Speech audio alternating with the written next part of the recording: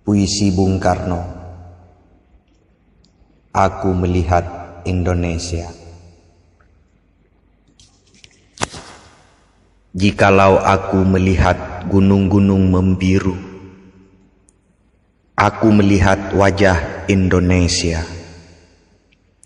Jikalau aku mendengar lautan membanting di pantai bergelora Aku mendengar suara Indonesia.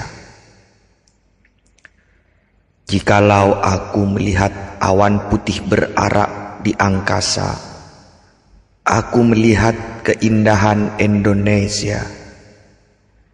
Jikalau aku mendengarkan burung berkutut di pepohonan, aku mendengarkan suara Indonesia.